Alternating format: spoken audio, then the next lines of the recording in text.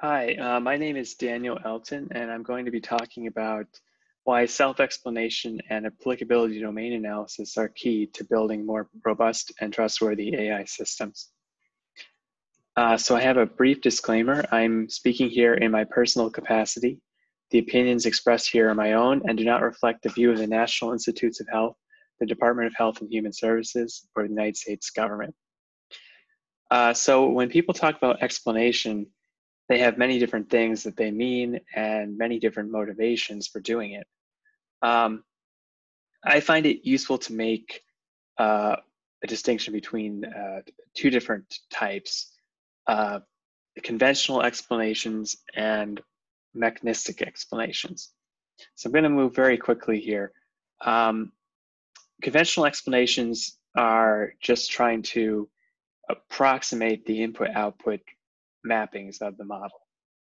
And they usually are verbal descriptions which are tailored to be relevant to the end user. So whatever uh, certain domain of, of, expertise the end user is in, the descriptions are couched in the terminology of that domain.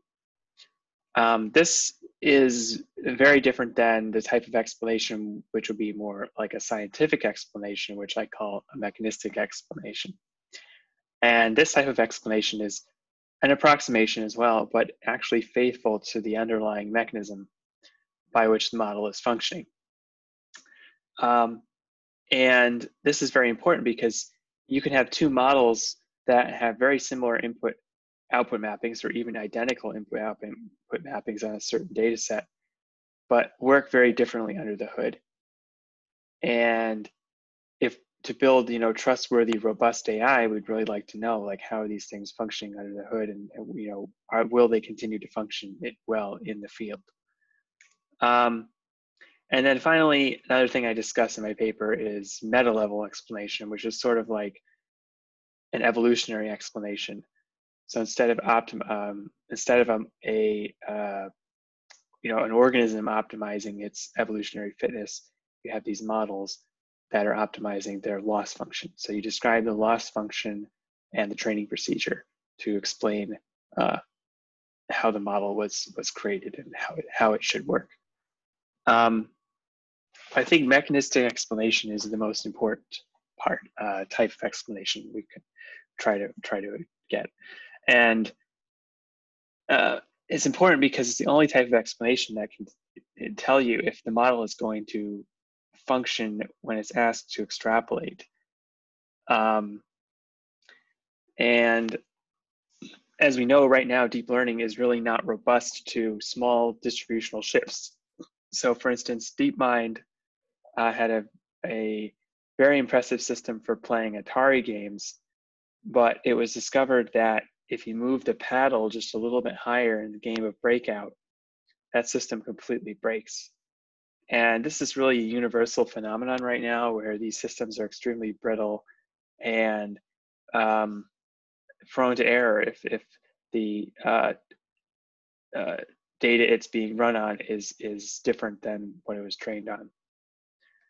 Um, here's an example from some of my very recent work where we're trying to use a deep neural net to segment the pancreas.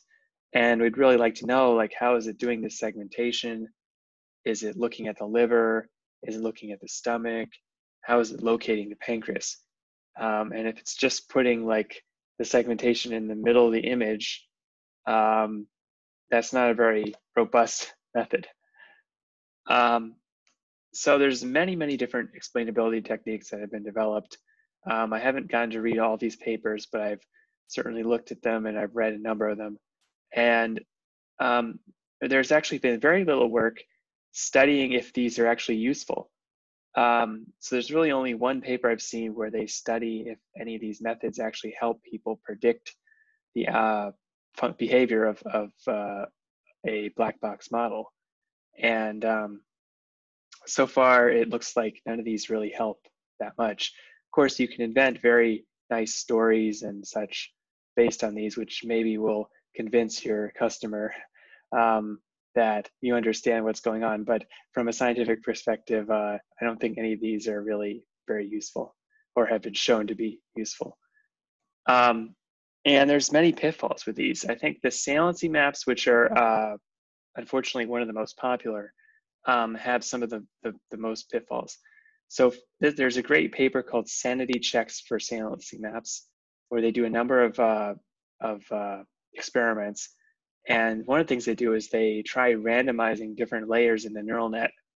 And they find that uh, as you randomize more and more layers, the output of a lot of these um, saliency visualizations uh, don't really change. And so here they uh, they're out uh, randomizing from the deeper layers to the uh, more shallow layers in the in the neural net.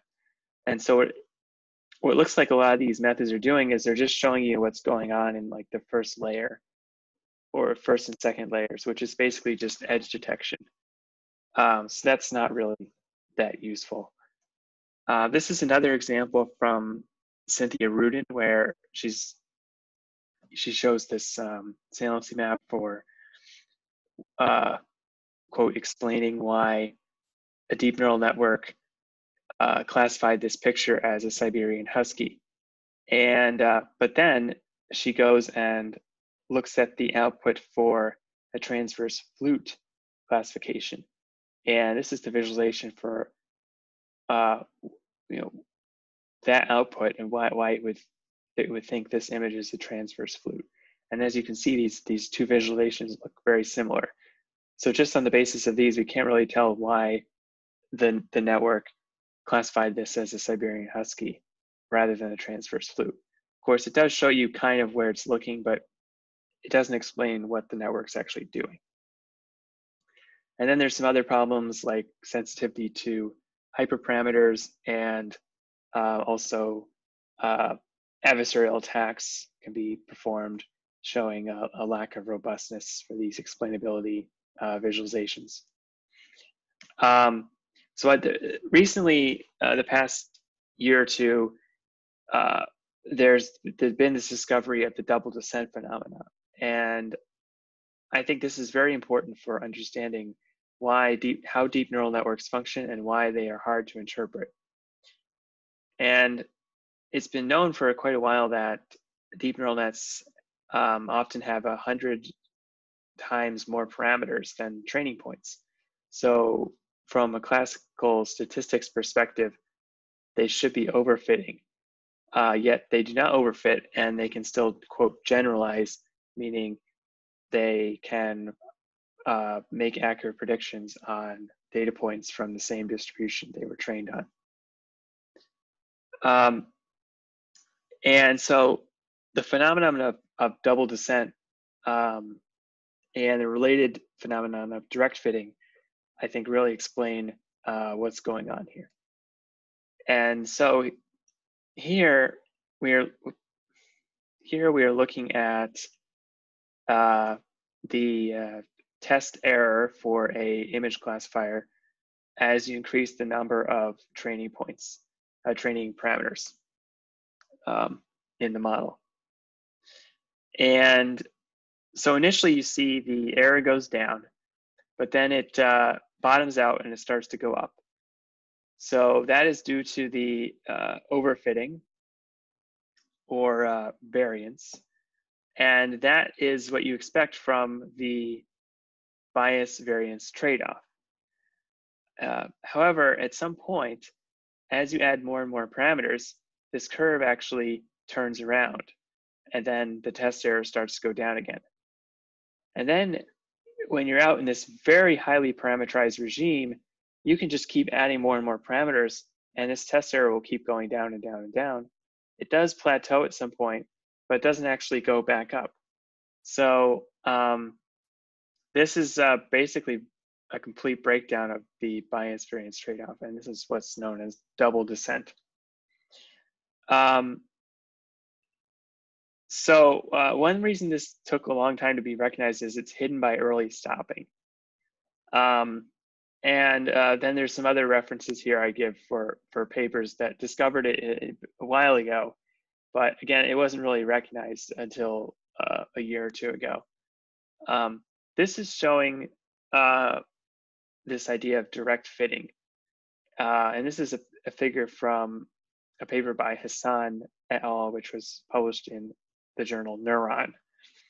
And so if you're trying to fit this uh, parabolic function with noise and you add uh, a lot of parameters into your model, you're going to get this uh, overfitting, which is characterized by uh, overshoot and undershoot. However, if you keep adding more parameters, you, run, you eventually get into this uh, regime where it's doing essentially an interpolation of the data points. And they call this the direct fit.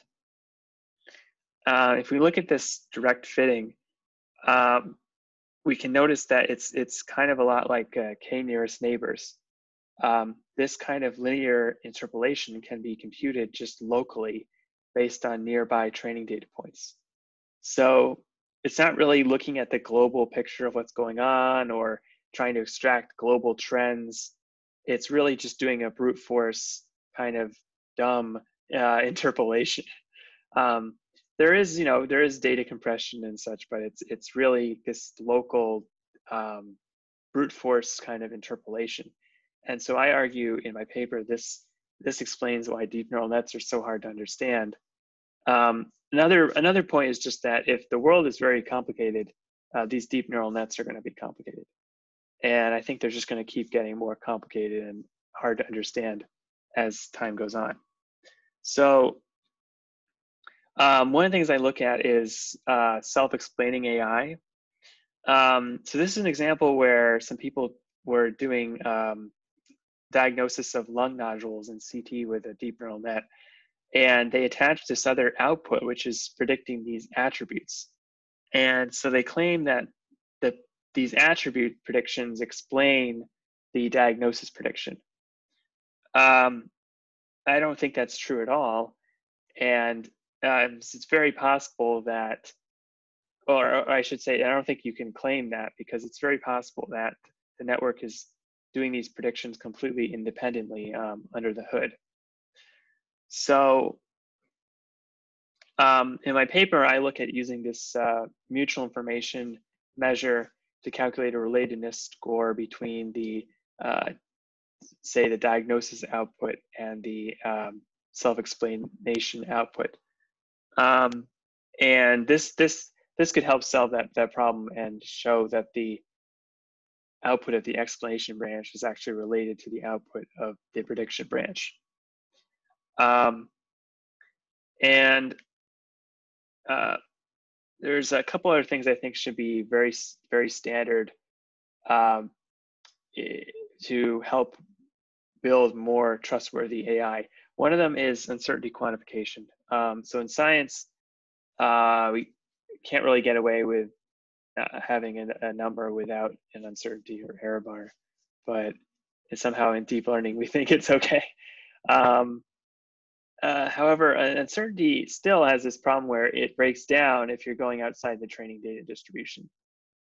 Um, but within the distribution, it can give you some, you know, additional information that can tell you whether how the system is working and whether it's we can trust the outputs and to what degree we can we can trust them. Um, to really address the problem of these networks breaking down when uh, due to distributional shift, we need to do this applicability domain analysis. Um, this is also called out of distribution detection.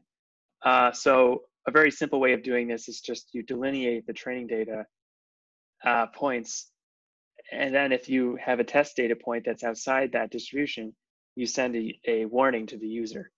Um, so this is also known as change point detection or detecting anomalous inputs. Um, and there's there's quite a large literature on this, but it hasn't really been used very much. Um, uh, this is an approach I'm looking at right now for, for doing this with a variational autoencoder um, for uh, pancreas segmentation. So if you're interested in this, um, let me know and I'll send you the, uh, the, the, paper that I'm putting together on this. Um, so in conclusion, um, a lot of explainability techniques right now are, can be very misleading. There's a lot of pitfalls. There's a lot of uh, people telling stories. They're just so stories about the visualizations. It's not very scientific. Um, double descent is, is suggests that this is going to be a very hard thing to do. Um, uh, because it's really going, you have to go back to the training data and look at what the training data is and how it's doing that interpolation. Um, I think a better, uh, uh, perhaps a, a, more practical uh, approach is to to engendering uh, trust in these systems is um, a combination of these three things, which is the uncertainty quantification, out of distribution detection, and the self-explanation. And I encourage you to please cite my work and uh, check out my um, expanded manuscripts. Uh, thank you.